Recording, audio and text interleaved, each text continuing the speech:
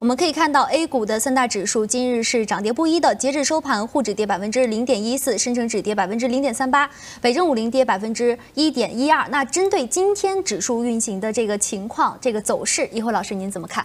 我们看今天啊，整体市场走出一个缩量震荡的格局啊。当然，今天整体表现出的是一个什么？也就是互强深弱的一个走势啊。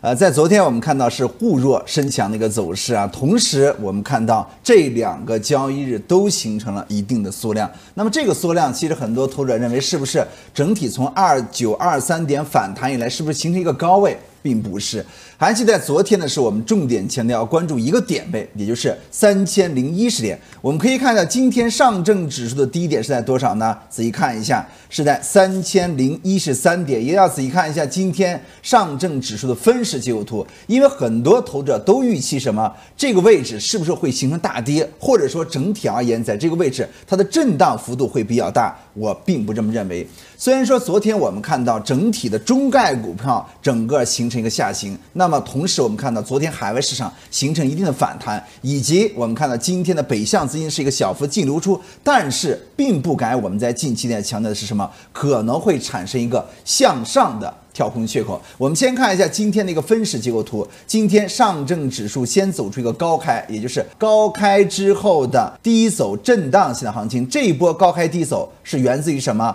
贵州茅台在昨天晚间传出重磅利好消息，时隔六年的时间提价百分之二十。好，整体是一个震荡弱势的一个行情。当然，今天有没有跌破三千零一十点？没有跌破，今天的低点是在三千零一十三点，这是其一。其二，我们再看一下深成指这边，今天走出的什么？高开之后的震荡型的一个行情。当然。蓝颜色线，也就是我们所说的大盘个股。同时，我们再看一下创业板指啊，今天形成的是一个什么样的一个走势呢？也是一样的。好，如果说从 K 线组合上，我们在今天早盘的收盘，重点强调的是什么？创业板指和深成指并没有创出近两天的新高，但是我们看到的什么？上证指数啊，一定要仔细看一下，是不是在今天形成一个顶部在逐渐的上移？一定要仔细看一下啊。就是二九二三点形成的是什么？这个位置低点之后，顶部在逐渐的上移，同时底部在逐渐的上移。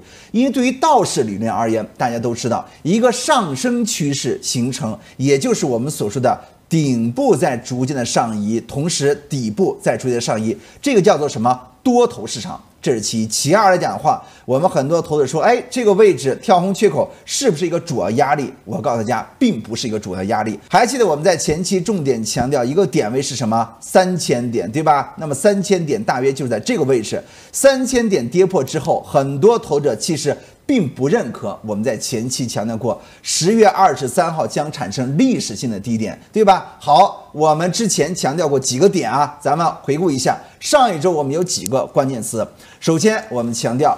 在十月二十三号是产生历史性的低点，我们在十月十九号 IMDM 证券服务频道我们的视频端重点强调过，对不对？好了，强调过之后，十月二十三号低点也就是在二九二三点。好了，二九二三点之后，我们强调三千点之下。就是一个黄金坑，就是一个空头陷阱，而且我指出什么？A 股股民最大的风险就是踏空的风险，对不对？那时候很多投资者都在犹豫，那时候很多投资者其实情绪并不佳，但是我强调的是什么？并不像很多投资者预期那样，还会有个二次探底，一定要仔细听一下啊！还记得吗？我们在这个位置的时候啊，没有突破三千点的时候，很多人都在讲还会有一个二次探底，对不对啊？我强调没有所谓的二次探底。你看这两天都什么强势震荡，说明什么？还是一个指数型行情，对不对？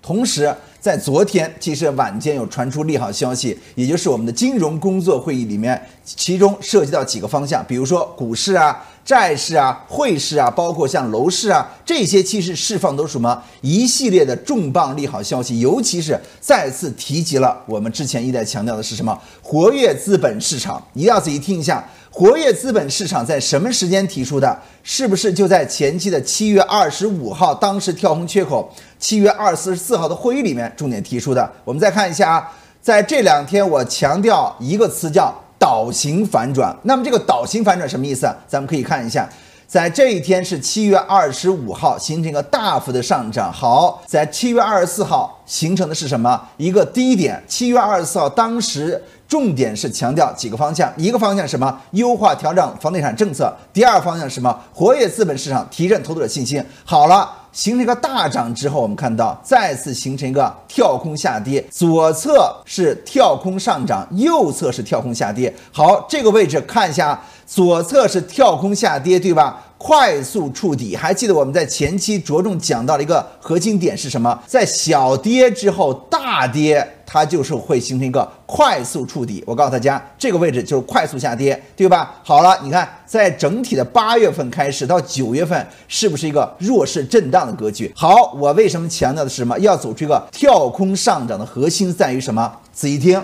很关键，因为在七月二十五号，当时有左侧的向上跳空缺口，同时跌下来有个向下跳空缺口，这就形成什么向下的一个倒形反转。我个人认为，明天和后天我们要着重关注。我再次敲黑板啊，咱们所有的投资者啊，一定要在我们的视频下方直播间打一下八八八。为什么？因为这是给大家留念，留念是什么呢？还记得我们在前期强调过十月二十三号抄底吗？对不对？当时我们建议大家写上什么？十月二十三号，果然十月二十三号形成低点。好，现在我要告诉大家的是什么？跳空缺口大幅上涨，而且它会形成一什么？放量大涨。原因是在于什么？因为市场在这个阶段，也就三千点的下方都是悲观的，都是犹豫的。好，真正形成一个大幅的上涨。而且是放量上涨，站上这个跳空缺口，它会带来什么？整个市场一致性预期。我再次强调一下，往往的顶部或者说指数的一个形成一个高点，都什么？都认为牛市行情来了。对不对啊？我们在上一周的时候，当时我们强调三千点再也不见，对吧？三千点本身在这个阶段，我认为会形成一个震荡反弹，没有所谓的二次触底，而且从二九二三点形成的是什么？一个直接的跨年度行情。到明年四月份，好，我们再看另外一个点。从上证指数而言，我们在昨天给大家强调了一个点是什么？上证指数的三十分钟结构图，我们看到的是在这个位置啊，它走出的是一个非常标准的一二三浪。上证指数三十分钟结构图啊，这是一个一浪上行，二浪的回撤，好，三浪。那么我们在昨天强调过，这个就是一个 A 四浪 A，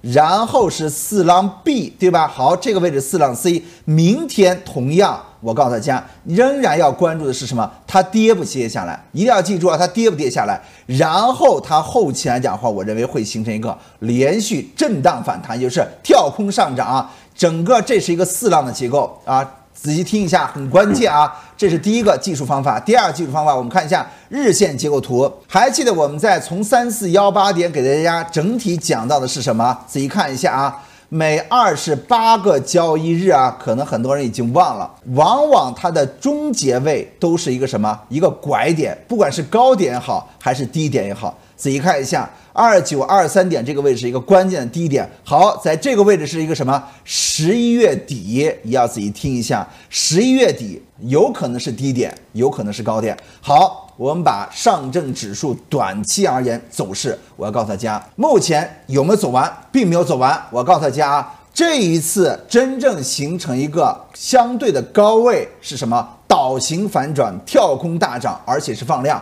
今天我认为是属于什么？在利好消息的催化下，没有形成放量上涨，反而形成的是什么？一个缩量的震荡。这种缩量震荡还是维持在三千零一十点的上方运行，和三千零二十五点。这就说明什么？市场在这个位置正在蓄势。今天很明确，就是在蓄势，而不是说往下蓄势。跳空缺口，其实我告诉大家，一定会回补。而且我们在前期也强调过，三千点。只是什么时候能够向上突破而已，对不对？突破之后，你将不会见到三千点。同样，我现在要告诉大家的是什么？这个位置啊，一定要仔细看一下，逐渐的要形成一个突破之后，那么好，我要告诉大家，它会形成一个短期的一浪结构。短期一浪结构之后，然后才会有一个小结构的二浪，它仍然在三千点上方运行。所以说，我们现在就是在等。